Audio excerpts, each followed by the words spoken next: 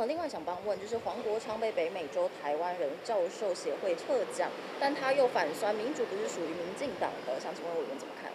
呃，我认为黄国昌应当好好去检视自己的言行，不只有数十万，真的累积起来是数十万的公民朋友上街，对准瞄准的就是对黄国昌的不满。这么多民意对他的愤怒，他为什么不好好的检视呢？那又如同有这么多的专业团体，呃，法律专业界或者是外媒，也都锁定黄国昌在主导的这种蓝白合作，都伤害台湾的民主。那最新的北美教授协会，他们撤销了过去对于黄国昌因为太阳花事件，呃，给予他的一个奖项跟荣耀，现在。大家要把它撤回。黄国昌为什么还是不会反求诸己，好好去检视这么多人对你的愤怒，都是其来有自。如果你不能反求诸己，继续用这种咆哮的、叫嚣的、蔑视他人的这种轻蔑的态度，